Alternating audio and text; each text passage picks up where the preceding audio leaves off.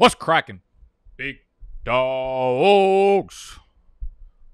Welcome, Bike, to the channel. Welcome, Bike, to the headquarters. Welcome, Bike, to another Bounce Bike episode. I love these episodes because I get to say bike like 45 times and you guys can't get pissed. You guys are probably already sick of it after yesterday's bounce back video, all right? We'll, we'll stick to back for today to not piss everybody off. We, we do want to gain some new subscribers. So if you're new, make sure you hit the subscribe button. We're doing everything fantasy football up until your drafts and throughout thy season. Yesterday, we covered our bounce back running back list. So the post hype sleepers, dudes, maybe fell off a little bit, but we expect them to get right back on the saddle and fucking skirt your team to hardware this year. So we've got wide receivers today. We've got a good list of wide receivers today. There weren't that many running backs I was excited about, but there are a lot of wide receivers that I think meet the bill, fit the bill, and you guys pointed that out to me on uh, on Twitter. You had a lot of good suggestions for who your top bounce back players for the year are. And uh, we have a list about five or six of them today. Okay. And y'all know what we have to do before we start it off to tuck our shirts in.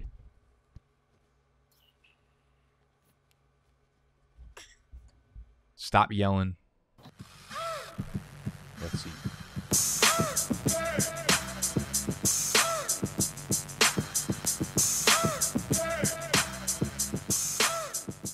So, our most popular, our highest requested player in terms of bounce back guys for this year, unsurprisingly, Michael Thomas of the New Orleans Saints. Michael Thomas is currently going off the board in the third round, middle third round for someone who is a year removed from being an absolute league winner. He's the wide receiver nine around pick 30, so midway through the third round.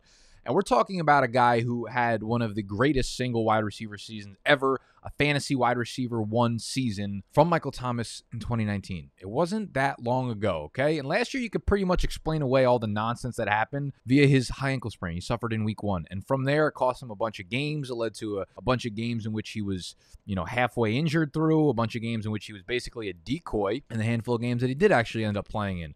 All right, but let's get one thing fucking straight, like an arrow. He is still the same separator that he's always been. His success rate versus man, zone, press is among the best in the NFL. That did not tip off. That did not veer off. That is still extremely, extremely high, even even during an injured season. And his target share in the games that he played last year around 28%, 27.8%, which was fourth in the NFL.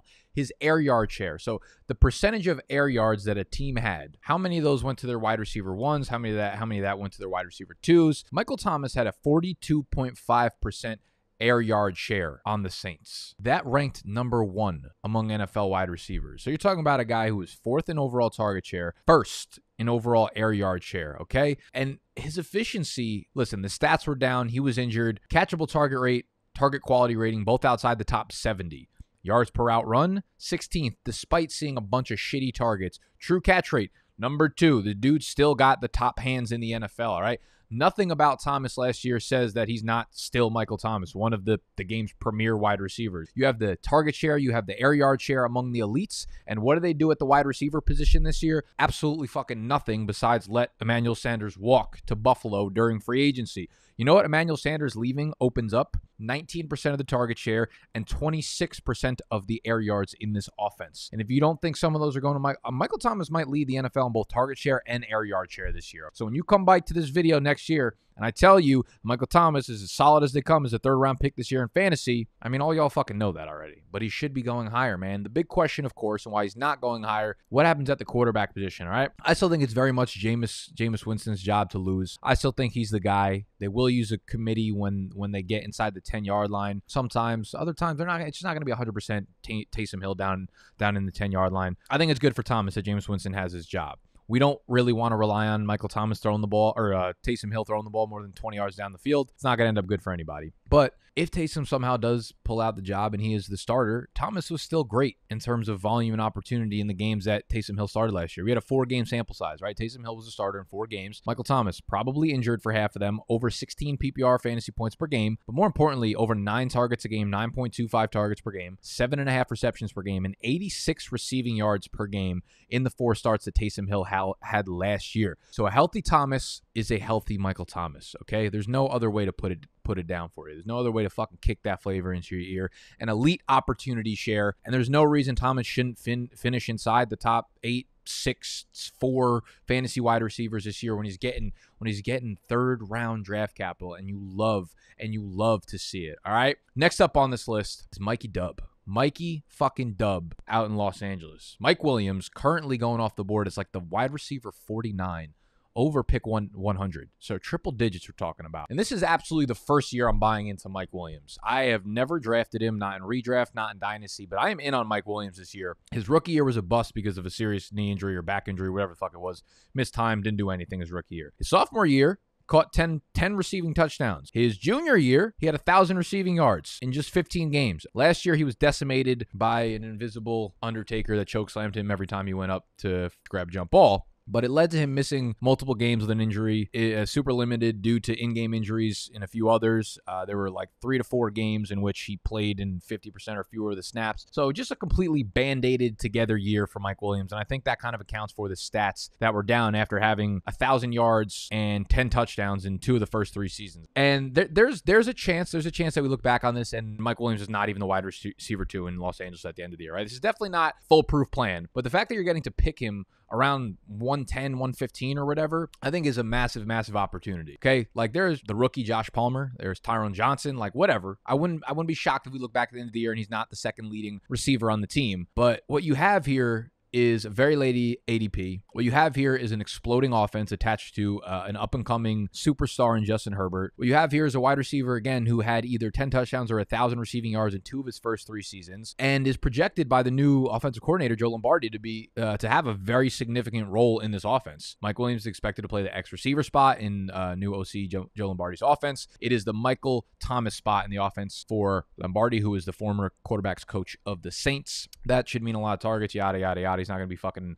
Michael Thomas, but it's good to know that they do have a vision for him. It's not like, oh, we're we're letting Josh Palmer, you know, you hear a lot of things throughout the summer, a lot of reports that are conflicting, but you'd rather hear the good shit than the bad shit, right? You'd rather not hear, you know, Michael Thomas's injury status over the last few years has opened up the second wide receiver hole for a guy like Josh Palmer to compete or whatever, right? We're not hearing that. We're hearing that Mike Williams is going to play the X receiver role in an offense that's up and coming, should be fast paced, should see a lot of pass attempts from Justin Herbert. I'd imagine this team was is going to finish in in terms of uh, pass attempts inside the top five for NFL teams. They simply just don't have a fucking running back in that backfield to uh, equip to carry the ball at, at, a high rate. So Williams doesn't need to have an extremely high target share to have really high raw target numbers. Okay. And we know a lot of his targets, even if they are of the lower volume, will be highly valuable because they're downfield. Consistently ranks inside the top 10 in terms of average depth of target. They're always down the field. So when he does catch three or four passes, they usually equate to 85 yards or more. Not to mention Hunter Henry is gone, who led their team in 10 zone targets last year. So there could be touchdown upside for Mikey Williams. So realistically, at the end of the day, day. You weigh the positives, you weigh the negatives, and there are a lot of positives on the good side of the ledger for Mike Williams. You have to weight the good and the bad, and you start getting into the later rounds. And I mean, Williams certainly has way more good things going for him than bad things. So I like a bounce bike.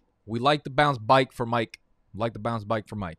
We like the bounce bike for Mike. We like the bounce bike for Mike. Next fucking player on the list, another Mike. We like a bounce bike Mike for fucking Mike Gallup. Dallas Cowboys. We we love us a little Michael Gallup this year. Let's not forget as a sophomore what Michael Gallup did. 113 targets, 66 catches, 1107 receiving yards and 6 touchdowns in 14 games. In 14 games this guy had over 1100 receiving yards. That number dropped off significantly in 2021. He played a full 16 and that number still dropped off pretty significantly. I kind of I kind of liken him to the uh, Dallas's version of Antonio Brown in an offense that we can project to pass way more than the Tampa Bay Buccaneers. When you look at Michael Gallup's raw numbers last year, he had the second most routes run in the entire NFL. Among all wide receivers, he ran the second most routes, which could be a bad thing, could be a good thing, because if you run that many routes and you don't put up statistics, you might just not be fucking good. But I think we know that Michael Gallup's pretty good as an NFL wide receiver at this point. I think more, uh, more telling is the catchable target rate and the target quality rating he received last year both outside the top 100. I don't know what he's supposed to do when Ben DiNucci is the motherfucker throwing him the ball. Now we have Dak back under center. Again, this offense should be a well-oiled machine. I talked about it in yesterday's video on bounce back running backs with Zeke. Dallas averaged in Dak's five starts 32.8 points per game. That was number one paced out in the NFL last year. Uh, their pass attempts per game, they had the single highest pass attempt rates in the NFL last year under Dak. The pace is blistering. So Gallup, like Mike Williams, doesn't even need to see a huge target share. 16.5% target share would give him like 110 to 120 targets on the year in this offense, if we're being honest here, okay? Gallup, too, as a player, is just straight up disrespected as a receiver. When we look at his reception perception numbers, I mean, his success rate versus man and press, which you want to see out of a number one wide receiver, is really, really high. Like, he does great against man, he does great against press, and like Matt Harmon couldn't be higher on the guy in terms of like what he does for his offense. He takes the number one cornerbacks. He consistently plays against the top cornerbacks on the other team as the X receiver. So he takes a lot of weight off CeeDee Lamb, takes a lot of weight off Amari Cooper, but Michael Gallup is still a very, very good receiver, wins down the field, and in an offense is going to pass the ball a shit ton. Again, he doesn't need to see more than 16 to 17% of the targets in order to see 110, 115 targets. And with Dak delivering the ball, those are probably going to be accurate targets. So we love Michael Gallup. We love Michael Gallup in the ninth ish round. If you want to stack him with Dak Prescott, it's a beautiful, beautiful value play there, just like how I kind of like Tom Brady with Antonio Brown. Speaking of Antonio Brown, he is also on this list. Antonio Brown only played in like half the games last year, but in the half games that he played in for Tampa Bay last year, his target share was basically on par with Mike Evans and Chris Godwin. This is basically an arbitrage play. I don't expect him to actually outproduce Mike Evans or Chris Godwin just flat out in fantasy points, but I do expect him to be a PPR stud. They manufactured a shit ton of touches for him last year. He led the NFL in terms of his uh, screen targets per game. 2.4 screen targets per game, which tells you that they were forcing the ball to him. They want him to be a piece of this offense. We've seen what Brady did with him in the one game they had in New England together. Now we've seen a half a season in which Antonio Brown came off his couch to share a target share with Mike Evans and Chris Godwin, which was basically parallel to each other. Fresh summer, fresh start, re signed to the team. This team is going to be a well oiled machine as well, just like Dallas. They're going to score a shit ton of points, Antonio Brown should be a really, really, really solid, solid pick going outside of the top 100. So Antonio Brown's another bounce bike. So is Courtland Sutton of the Denver Broncos. At the end of the day, this guy is just simply too fucking talented not to believe he's going to ball. I know he's coming off the ACL tear, and maybe if you're one of those guys like me who's a little bit more pessimistic on injuries, you want to wait till year two removed from the ACL tear. But I just can't stop thinking about how good he was in 2019, 2019. I'm so enamored by the numbers he put up in 2019 125 targets, 72 catches, 1,112 receiving yards, and six touchdowns. And I know people are going to be like, but did you see what he did with fucking Drew Lock? Did you did you fucking see what he did to your mother back in fucking 1945? No, I bet you fucking didn't. All right but he did, and he's really good. And we're not going to act like Joe. We're not going to sit here and we're going to act like Joe Flacco and Brandon Allen is what unlocks Courtland Sutton. We're not going to do that. We're we're better than that, people. All right, Drew Lock might be bad, but he's not worse than Brandon Allen. He's not worse than Joe Flacco. And listen, if Teddy Bridgewater wins a job, at one point or another, Bridgewater's going to be on the field this year. And as much shit as we give him, like he churned out three top 25 fantasy wide receivers on the Panthers last year. Spaghetti, DJ Moore, Curtis Samuel. They all had a lot of fucking targets. They all had 120, 140. Curtis Samuel had about 100 targets. Courtland Sutton is not Curtis Samuel. Courtland Sutton is the number one, maybe the 1A, 1B ish to Jerry Jeudy, but he's going to get a lot of fucking targets. I don't care where it's coming from. Courtland Sutton's just too talented not to succeed coming off this ACL tear. Courtland Sutton's bounced back this year. The last guy I'm going to leave you with. I'm going to say this real fucking quick and then we're going to get to the outro. The last the last guy who I've been taking a lot of, a lot of 17th round, 18th round best ball spots of. AJ Green, Arizona Cardinals.